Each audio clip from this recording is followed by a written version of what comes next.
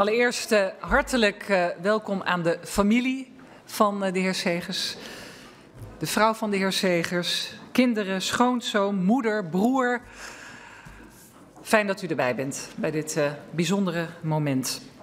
Ik start met het lezen van de afscheidsbrief van collega Zegers. En ook fijn dat de bewindspersonen in vak K zitten. De minister van Justitie en Veiligheid, minister van Armoede Beleid. Geachte voorzitter, beste Vera. Dit is de dag van mijn afscheid van de Tweede Kamer. Van u, van mijn 148 andere collega's. Van het Kamerpersoneel dat ons zo geweldig helpt. Van de bewindslieden die we hier ontmoeten. Van journalisten die ons hier in de gaten houden. Het is het afscheid van een bijzondere plek. Waar ik de moeilijkste en de mooiste momenten van mijn werkend leven heb beleefd. Het is het afscheid van het dorp dat we met elkaar vormen.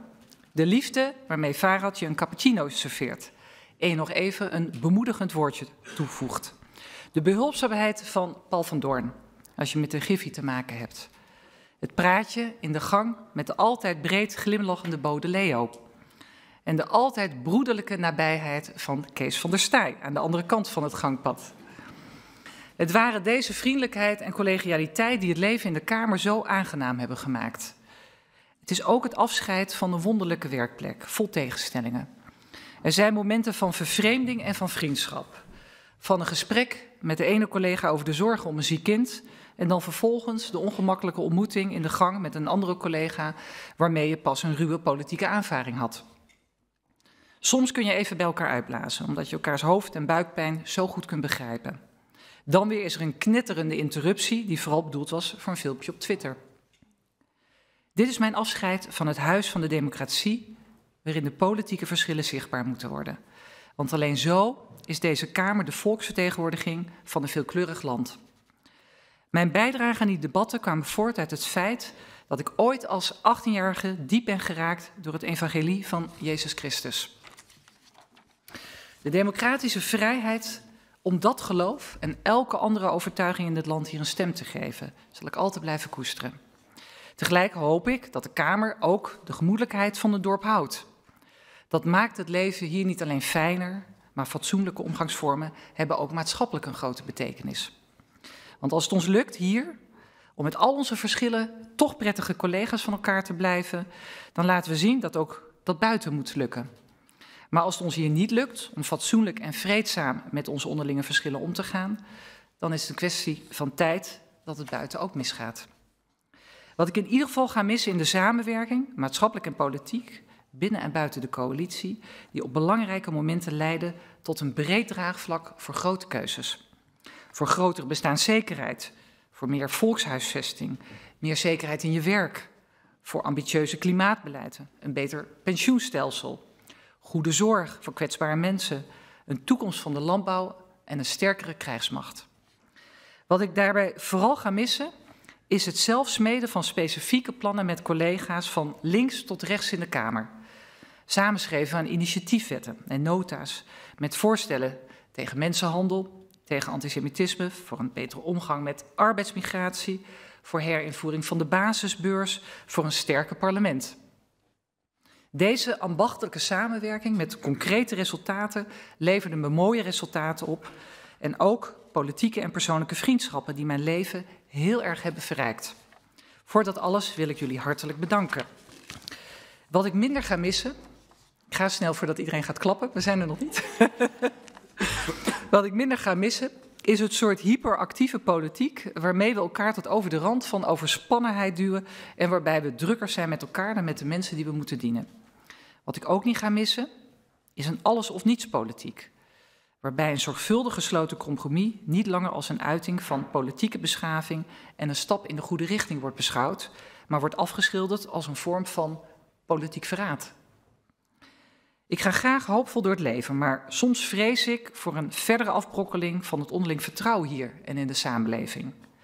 Naar mijn gevoel staat onze democratie op een kruispunt. Ofwel, we blijven met al onze onderlinge verschillen in staat tot politieke samenwerking, Ofwel, wij worden een rijk in verval. En de keus is aan ons. Ik ga stoppen. Samen met de collega's van de fijnste fractie heb ik me met hart en ziel ingezet voor christelijk-sociale idealen, voor politieke samenwerking en voor onze democratische rechtsstaat. Het is nu aan jullie om met het kostbare vertrouwen van de kiezer het goede te doen. Met het groot vertrouwen in Mirjam Bikker op mijn stoel en met de aanwinst van Nico Dros morgen op mijn plaats, ken ik nu mijn eigen plek. In de stilte. Daar waar ik hoop te horen wat mij nu te doen staat. Jullie wens ik mooie inhoudelijke debatten toe, inspirerende samenwerking, goede besluitvorming en vooral de zegen van God, die ons mooie vlakke land al zo vaak heeft gezegend. Het gaat jullie goed. Adieu, met de collegiale groeten voor jullie allemaal. Gert-Jan Segers.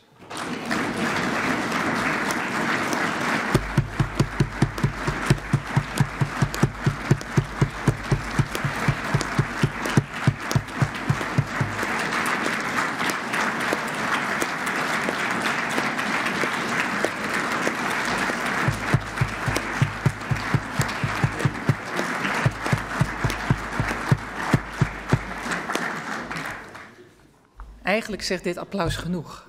En dan kom ik nog met een, uh, een reactie. Beste Gert-Jan, nog maar een paar dagen geleden verraste je iedereen met de mededeling dat je de Kamer gaat verlaten. Het was zelfs zo'n grote verrassing dat sommigen onder ons er oprecht van slag door waren. In ruim tien intensieve jaren heb je het beste gegeven aan het Kamerlidmaatschap dat je te bieden had. En zeker als partijleider is het juiste moment kiezen om te vertrekken best lastig. Vandaag staan we voor dit verdrietige feit en heb ik het voorrecht jou te mogen toespreken. Je medespeech hield je op 9 oktober 2012. Het onderwerp was, ik hoop dat je dat zelf ook nog weet, alweer een tijd geleden, was een grondwetswijziging over de constitutionele basis voor Bonaire, Sint-Eustatius en Saba. Je kwam met een doorvrocht betoog, waarin mij in ieder geval opviel de aandacht voor het betrekken van burgers bij dit onderwerp. En eigenlijk is dat de rode draad geweest van jouw werk in de Kamer, waar altijd de mens centraal heeft gestaan. Nog geen drie jaar later was je fractievoorzitter. En in de woorden van de Telegraaf destijds, Segers glipt naar de macht. Zo'n kwalificatie is niet karakteristiek voor jou. Je hebt alles op alles gezet om te voorkomen dat mensen denken dat je hun een kunstje flikt. Betrouwbaarheid is een constante waarde in jouw kijk naar het leven. Het voetstuk waarop je geplaatst wordt is dan ook terecht hoog en groot. Maar niet alles is Hosanna. Ik moet, ook op verzoek van jouw fractie, een kritische noot inbouwen. Je hebt namelijk ook een reputatie opgebouwd als een notoire uitsteller. Waarbij je gevaarlijk dicht langs het ravijn van het overschrijden van cruciale deadlines scheerde. Maar je wist altijd wel je evenwicht te bewaren. Dat moet ik er ook bij zeggen. In jouw tien jaar als volksvertegenwoordiger ben je ook vaak geprotecteerd in de media. En wat mij daarbij opviel, is dat het vaak gaat over je diepe geloof. En je integriteit. En je begaan met mensen die op een, een of andere manier slecht getroffen hebben. Dat is het overheersende beeld. En je hebt een zekere mildheid op het moment dat het fout gaat. Je wilt streng zijn voor jezelf en voor anderen, maar niet genadeloos. Als ik dat zo zeg, zou de indruk kunnen ontstaan dat je een dossiervreter bent die geen ruimte en aandacht heeft voor zaken dan het hogere doel. Maar dat is onjuist. Je staat bekend als een echte teambuilder, die binnen de fractie altijd aandacht wist te vinden voor een persoonlijk gesprek. En ook voor een goede grap. Misschien is jouw gevoel voor humor misschien niet het, het meeste wat naar voren komt in de openbare optredens.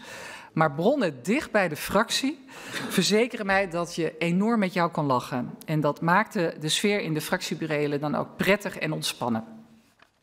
Je schrijft in je afscheidsbrief aan de ChristenUnie-achterban over de politiek als een gulzig vak. Dat is een pakkend beeld. In een interview met nu.nl uit 2021, samen met fractievoorzitter van het CDA, Pieter Heerma, zeg je dan ook: alles wat ingewikkeld en shit is, komt bij ons terecht. Dat kan van het kabinet en de fractie zijn. Bij ontploffende appgroepjes van Kamerleden kijken ze altijd naar ons. Zo van, fix het maar. De politiek vraagt veel van ons en legt een grote claim op hen die daar hun werk van hebben gemaakt. Tegelijkertijd weet iedereen die in de politiek werkzaam is ook hoe mooi en bijzonder dat werk is. Zo geef je in datzelfde interview ook aan dat je al steggelend en onderhandelend naar een oplossing gaat. Dat is ook het mooie, want een groot deel van je verblijf in deze Kamer maakt je tenslotte ook deel uit van een coalitie. Voor jou en je fractie was het ook niet altijd een makkelijk traject. Maar al steggelend en onderhandelend hebben jullie ook dingen voor elkaar gekregen. Zelf kenschetste je het zo. Tegen iedereen, stel, stel uh, die, tegen iedereen die stelt dat wij verslingerd zouden zijn aan macht, aan het pluche, kan ik ronduit zeggen: het pluche is een spijkerbed. Het is retenzwaar. Maar uit de reacties op je vertrek mag je ook afleiden dat het feit dat je op cruciale momenten hebt gekozen voor een front in plaats van de achterhoede, iets is dat wordt gewaardeerd en gerespecteerd. Je werd een belangrijke vertegenwoordiger van het politieke midden, waarbij je soms ook je eigen achterban moest confronteren.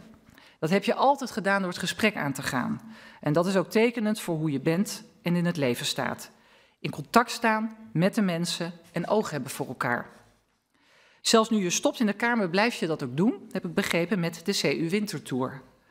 Ik denk dat je er nog aardig druk zal krijgen. Ik weet niet of er ook van de zomer een CU Zomertour komt. Maar misschien is dat ook een beetje de, de zendeling eh, in jou. In je afscheidsbrief stel je dat na het intensieve tien jaar het hoog tijd is om je gezin weer op de eerste plaats te zetten. En toen ik dat las, moest ik ook denken aan de uitzending De Wereld Draait Door, waarin je dochter Eline een prachtig nummer van U2 vertolkte. En de uitdrukking op je gezicht tijdens dat optreden is zeer het bekijken waard. Het optreden was schitterend, maar jouw gezichtsuitdrukking was echt onbetaalbaar. Zoveel liefde nou, als vader. Voor de komende tijd wens ik je al het goeds en ik hoop ook vooral veel tijd om door te brengen met je gezin. En ze hebben namelijk ook heel wat uren met je in te halen. Al hoop ik wel dat ze je in de ochtenduren ontzien, zodat je in ieder geval de komende tijd ook lekker kan uitslapen. Want ik begreep dat dat een van jouw guilty pleasures is, om uh, wat langer uit te kunnen slapen. Tot slot, Gert-Jan, ik, uh, ik ga je missen. Jouw vertrek voelt voor velen onprettig. En hoe kan ik dat het beste omschrijven? Er is een metafoor voor.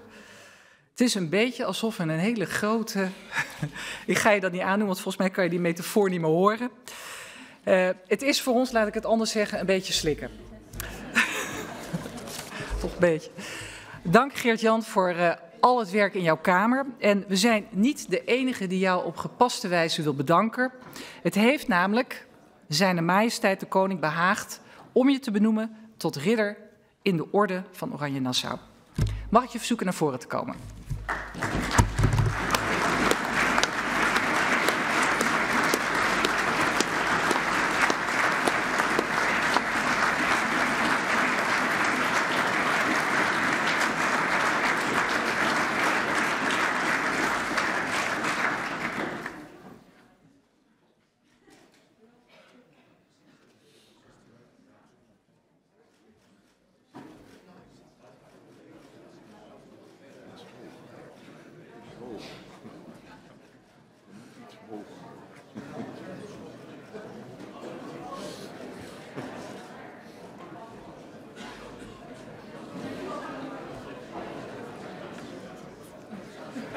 Ja. Ik schors de uh, vergadering voor een kort moment, zodat u afscheid hier kunt nemen van uh, collega Segers.